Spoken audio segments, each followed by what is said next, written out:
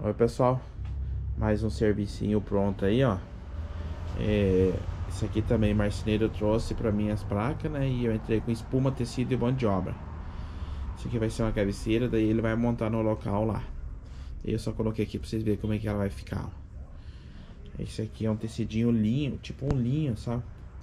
Fininho, dá um trabalho danado pra estofar esse aqui, tá? Deixa aí. Aqui ainda tá aparecendo as gritinhas porque eu só coloquei um do lado da outra.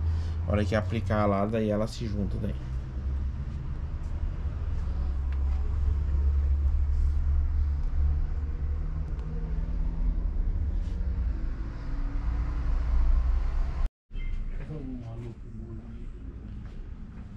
Ó pessoal, mais um vidinho pronto aí Um videozinho Mais uma cabeceirinha aqui em placas também Mesmo esquema o marceneiro traz as placas, eu entro com espuma, tecido e mão de obra.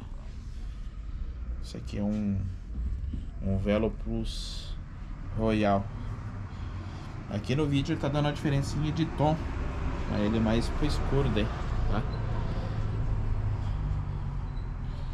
Oito plaquinhas. Beleza? Obrigado.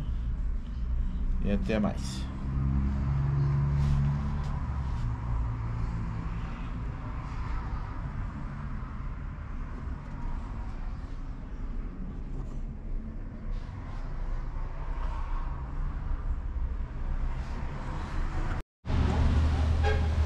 Ó pessoal.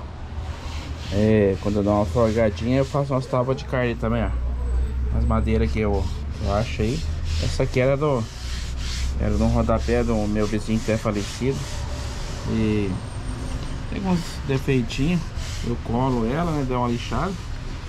E passo um óleo mineral ó. Isso aqui eu fiz com meu irmão Só. Uma vez quando eu gosto de fazer uma Eu precisava de mais o bom aqui é você ter uma tupia, né? Pra dar um acabamento melhor.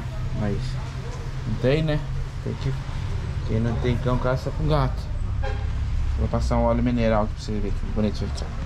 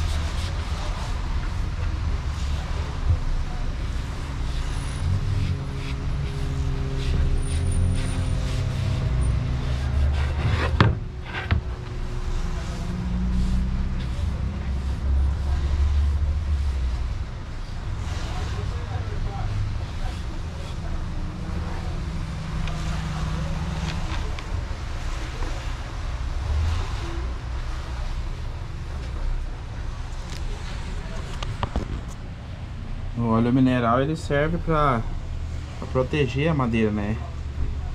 Fechar os poros delas e proteger. E, e, pode usar na cozinha que não tem problema.